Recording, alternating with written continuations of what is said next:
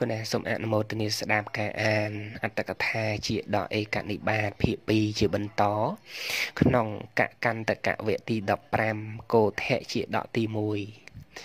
ព្រះបរមសាស្តាកាលទ្រង់គង់នៅក្នុងវត្តវេលវ័នទ្រង់ប្ររពភិក្ខុដែលសែបគប់អ្នកយល់ខុសមួយរូបត្រាប្រធមទេសនានេះមានពាក្យផ្ដើមថា អ្នកបាបៈជាអ្នកសាំងសេវីដូច្នេះជាដើម រឿងបច្ចុប្បន្នក៏ដូចរឿងដែលពោលហើយក្នុងមហិលាមុខៈជាដកនោះឯងក្នុងអតីតកាលការព្រះបាទព្រហ្មទត្តសោយរីសម្បត្តិនៅក្នុងនគរពិរិណសីព្រះបរមពោធិសត្វបដិសន្ធិក្នុងកំណើតជាសត្វទុនសង ធំពេញវ័យហើយមានទុនសងច្រើនរយជាបរិវាររស់នៅក្នុងប្រហោងឈើធំមួយដែលនៅនឹងឆ្នេរស្ទឹង កូនរបស់ព្រះបរមពោធិសត្វនោះមានឈ្មោះថា កោធៈបលកៈធ្វើសេចក្តីស្និទ្ធស្នាលនឹងបង្គួយមួយ ប្រឡែងលេងជាមួយនឹងបង្គួយនោះ ឡើងជន់បង្គួយដោយគិតថាអញនឹងអោបបង្គួយពួកទន្សងប្រាប់សេចក្តីស្និទ្ធស្នាលរវាងកោធៈបលកៈនិងបង្គួយនោះឲ្យស្ដេចទន្សងជ្រាប ស្ដេចទុនសងក៏ហៅបត់មករួចពោលថាកូនសំឡាញ់កូនឯងធ្វើសេចក្តីស្និទ្ធស្នាលក្នុងទីដែលមិនសមគួរឡើយធម្មតាបង្គួយទាំងឡាយមានកំណើតថោកទាបមិនគួរធ្វើសេចក្តីស្និទ្ធស្នាលនឹងវាឡើយប្រសិនបើកូនឯងនៅតែរឹងធ្វើសេចក្តីស្និទ្ធស្នាលនឹងវា ត្រកូលទុនសងទាំងអស់នឹងត្រូវវិនិច្ឆ័យព្រោះអាស្រ័យវាជាពិតប្រាកដចាប់ពីពេលនេះទៅកូនឯងកុំធ្វើសេចក្តីស្និទ្ធស្នាលនឹងវាទៀត កោធៈបលកៈនៅតែធ្វើសេចក្តីស្និទ្ធស្នាលនឹងបង្គួយនោះដដែលសំបីព្រះបរមពោធិសត្វនិយាយជារឿយរឿយក៏មិនអាចហាមឃាត់សេចក្តីស្និទ្ធស្នាលរវាងកូនទុនសងនិងបង្គួយបានទៅត្រេះរិះថាអាស្រ័យបង្គួយមួយភ័យត្រូវកើតឡើងដល់ពួកយើងជាពិតប្រាកដគូរៀបចំផ្លូវសម្រាប់រត់គេចទុកជាមុនលុះគិតដូច្នោះហើយក៏ឲ្យធ្វើរន់បន្លំមកខាង ចំណែកកូនរបស់ស្ដេចទន្សងនោះ មានកាយធំឡើងដោយលំដាប់គិតថានឹងអោបបង្គួយពេលណាក៏លោតអោបរឿយរឿយពេលនោះ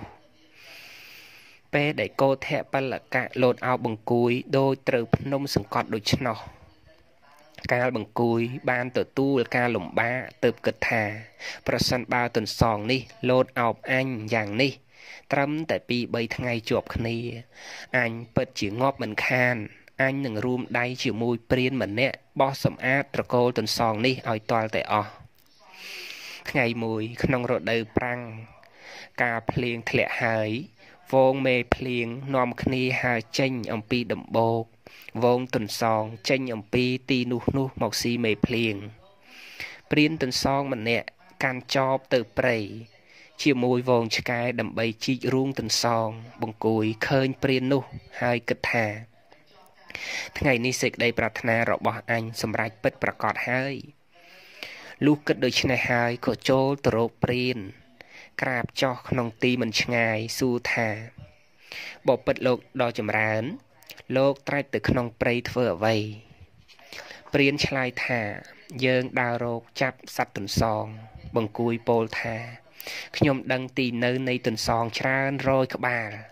លោកចូលទៅរកភ្លើង និងចម្បើងមកចោះ បង្គួយនាំព្រានទៅកាន់ទីនោះហើយប្រាប់ថា លោកចូលដាក់ភ្លើងត្រង់នេះហើយដុតធ្វើឲ្យមានផ្សែង ដាក់ឆ្កែពត់ជុំវិញ ហើយលោកខ្លួនឯងចេញទៅរងចាំវីទន្សងឲ្យងាប់ ហើយយកទៅកោតុកលុះប្រាប់យ៉ាងនេះហើយក៏គិតថាថ្ងៃនេះអញបានសងសឹកសត្រូវហើយហើយក៏ទៅដេកងក់ក្បាលភ្ងក់ភ្ងក់នៅក្នុងកន្លែងមួយ ចំណែកព្រានទន្សងចំណែកព្រានទន្សង ចាត់ចែងដុតគំនោចំបើង ផ្សែងចូលទៅក្នុងប្រហោងឈើផ្សែងចូលទៅក្នុងប្រហោងឈើទន្សងទាំងឡាយថប់នឹងផ្សែងត្រូវមរណភ័យគំរាមទន្សងនីមួយនីមួយ ប្រញាប់ចេញមកព្រានក៏ចាប់វីទន្សងទាំងឡាយដែលចេញមកឲ្យស្លាប់ ទន្សងដែលរួចផុតអំពីដៃព្រានក៏ត្រូវវងឆ្កែខំមហាវិនិច្ឆ័យកើតឡើងដល់វងទន្សងស្ដេចទន្សងដឹងថាព្រោះអាស្រ័យបង្គួយមួយនេះទើបភ័យកើតឡើងក៏ពោលថាធម្មតា ការសែបគប់បុគ្គលអាក្រក់ជាអំពើ មិនគប្បីធ្វើ ធម្មតា ប្រយោជន៍រមែងមិនមានព្រោះអាស្រ័យជនអាក្រក់ ដោយអំណាចនៃបង្គួយអាក្រក់តែមួយទៅសេចក្តីវិនិច្ឆ័យកើតដល់ទុនសងទាំងឡាយមានប្រមាណប៉ុណ្ណេះកាលនឹងរត់គេចទៅតាមរនខ្យល់បានពោលគាថានេះថា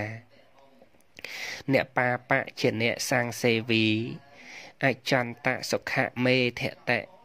កោធាកុលੰកកន្តាវៈកលឹងបាបេតៈអត្តនន្តៈបុគ្គលអ្នកសែបគប់នៅជនបាប រមែងមិនដល់នៅសេចក្តីសុខពិតទេដូចជាត្រកូលទន្សងមិនបានសេចក្តីសុខព្រោះបង្គួយ រមែងញ៉ាំងខ្លួនឲ្យដល់នៅសេចក្តីវិនិច្ឆ័យ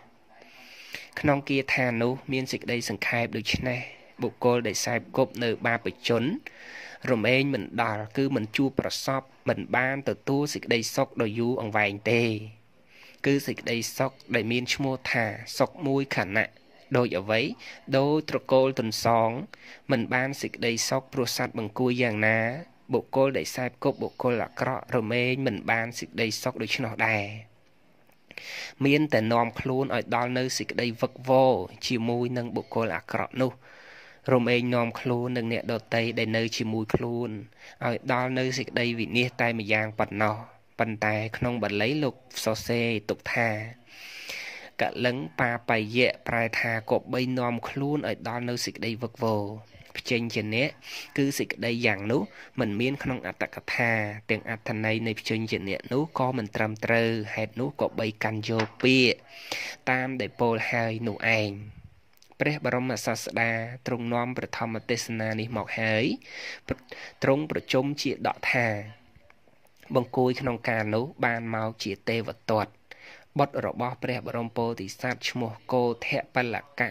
ដែលមិនជឿអវាទបានមកជាភិក្ខុដែលសែបគប់អ្នកយល់ខុសចំណែកស្ដេចទុនសង គឺតថាគតនេះឯងចប់អត្តកថាគោធៈជាដកទី1អនុមោទនី